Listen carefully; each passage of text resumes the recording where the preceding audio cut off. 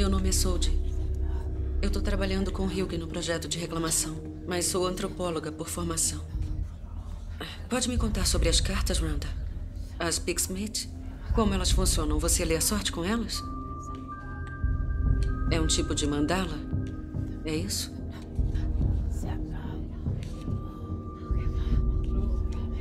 As imagens têm alguma ligação com a mitologia romulana?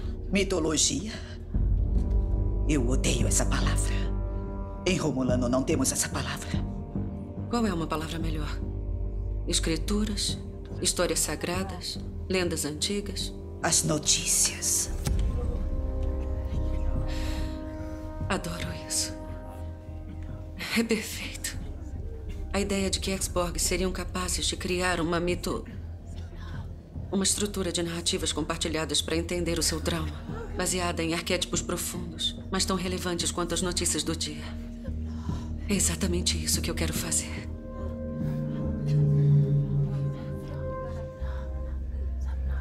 Conheço você.